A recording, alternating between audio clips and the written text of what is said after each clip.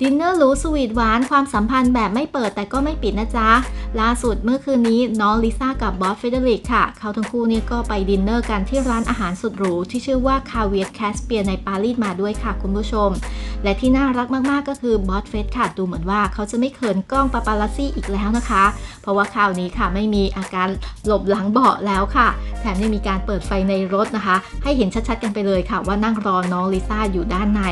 ก็คือบอสเฟเดริกค่ะแกออกมาก่อนนะ เห็นมีการยืนจับมือ shake hand กันกับคุณวูดดี้นะคะ แบบเหนียวแน่นค่ะ ก่อนที่จะแยกจากกันที่หน้าร้านแล้วบอสเฟรดค่ะ แกก็มีการหันมายิ้มหวานนะคะ สู้กล้องด้วยนะคะ ก่อนที่จะเดินขึ้นรถไปรอน้องลิซ่าค่ะ เห็นแกเนี่ยทำมือยุกยิกนะคะเหมือนว่ากดโทรศัพท์ค่ะ ก่อนที่จะเห็นคลิปถัดมานะคะ น้องลิซ่าก็มีการยกมือถือเนี่ยขึ้นคุยมาตลอดทาง เอ๊ะคุยกันกับใครคุยกันกับบอสหรือเปล่า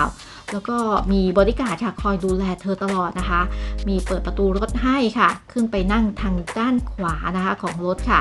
อะตัวติดกันตลอดเป็นปาทังโกเลยนะคะบอสก็คือดูแลนอริซาดีไม่ห่างกันเลยค่ะ ถึงแม้ว่าบอสเองเนี่ยจะขึ้นรถไปก่อนนะคะ แต่ก็ให้บริการดค่ะตามประกบดูแลน้องลิซ่าตลอดนะ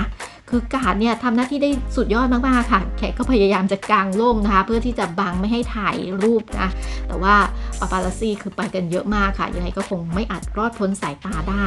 ชอบมากๆค่ะ กับความสัมพันธ์แบบไม่เปิดแต่ก็ไม่ปิด แล้วก็ดูเหมือนว่าบอสเฟเดริกเองเนี่ย แกก็มีการชะโงกหน้ามารอน้องลิซ่าขึ้นรถด้วยนะคะ คุณผู้ชมแหมหวานฉ่ำจริง ๆ ค่ะคู่นี้ นี่ขนาดว่ายังไม่ได้เดินออกมาคู่กันจากในร้านเลยนะคะ เห็นแค่นี้ค่ะก็แอบเขินหนักมากนะในความหวานของทั้งคู่กันเลยทีเดียวเนาะ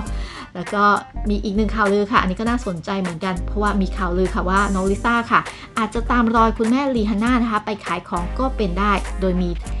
LVMH Group นะคะ คอยเป็นแบ็กหนุนหลังให้ ยังไงก็มาคอยติดตามกันต่อไปเรื่อยๆ ค่ะว่าข่าวลือข่าวนี้จะเป็นข่าวจริงด้วยหรือเปล่า